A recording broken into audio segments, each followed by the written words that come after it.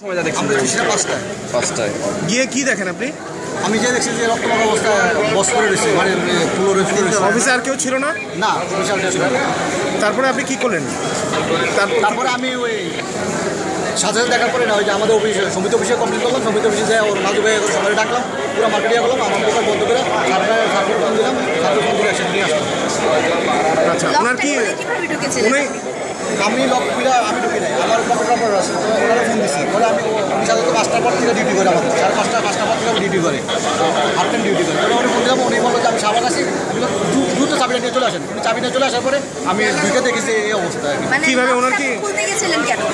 লকটা আমি করতে গেছিলাম ওই যে আমি সকালবেলায় বারোটার সময় আমি শুনছি যে সুদর্শন মালিক অভিজিৎ বই করছে ওনাকে নাকি আক্রমণ করেছে মানে ওনার নাকি ওনাকে আপনার নামটা কি? পরে ওটা শোনার পরে বছর বছর ইয়া ছিল।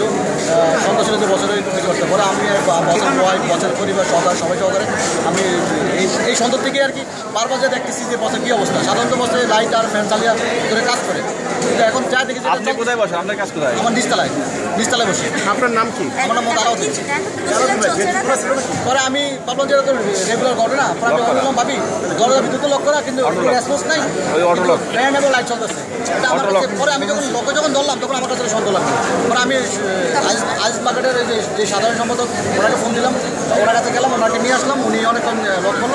লক করে দেখলাম দেখলাম যে খোলা ছিল না লকটা ছিল লকটা ছিল কিন্তু লকটার ভিতরে আমাদের লকটা যেভাবে থাকার কথা ওভাবে ছিল না। একটু ফাঁকা আছে প্লাস একটু বুথ ছিল।